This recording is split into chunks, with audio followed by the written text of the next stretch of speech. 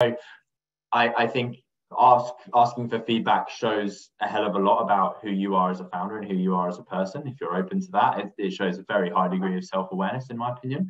Um, however, I would just be aware that the feedback you're likely to get is probably coming from a place of someone who either hasn't hasn't done anything or it's going to be slightly skewed. So I, I would use that as maybe like a, a relationship um, builder or maintainer rather than actually saying this is going to be kind of concrete feedback that I can, can use going forward. So, but it's a good question. I mean, our, our asking for feedback is um, is something that I notice all of our portfolio founders doing. All of the, and, and I mean that in terms of the, the, angel portfolio that I have, and then also Hambro Perks as a, as a fund as well.